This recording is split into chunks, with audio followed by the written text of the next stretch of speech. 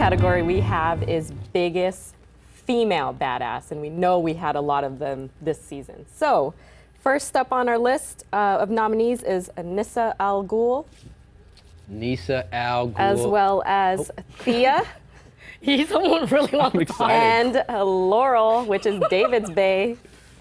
Yeah. What do I'm really excited. I'm really excited to talk about Nyssa. That's my girl. That's my girl. You know that's my girl. Nyssa, you look good.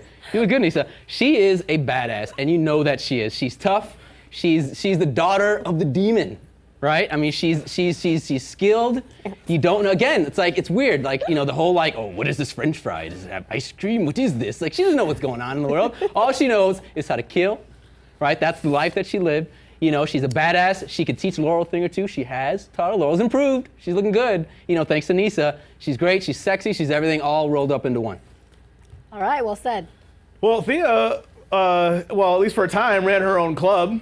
You know, that's not easy. Uh, I think she did that as a teenager too, didn't she? Yeah, she was young. I don't think she was Shout out High to. Verdant, Yeah, I mean, Verdant, you know, whatever. Verdant running the club, that's not easy. That, that takes business skills. She knows how to uh, stock a uh, an alcohol room. That's difficult. She's always stocking the alcohol room. That's difficult. And she, and she also learned how to fight this season. She became a badass. That always learned how to fight from her dad, Malcolm Merlyn himself. Uh, she's she's developed well. Now she is truly speedy. Now possibly she can become the Red Arrow. She has the suit. She has the hood. She looks good. Thea is poised to be you know, a badass. She's a badass already, but she's poised to be the ultimate badass, especially starting next season, I believe. Very nicely Yeah. said.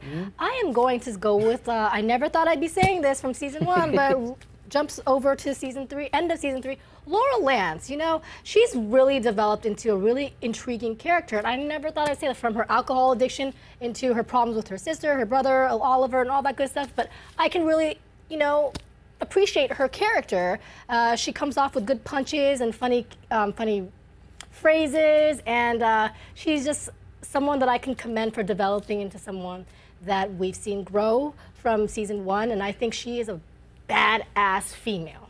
All right, so well, what who we thought was the biggest badass, drum roll, da, da, da, da, is Nyssa Al Ghul, you guys.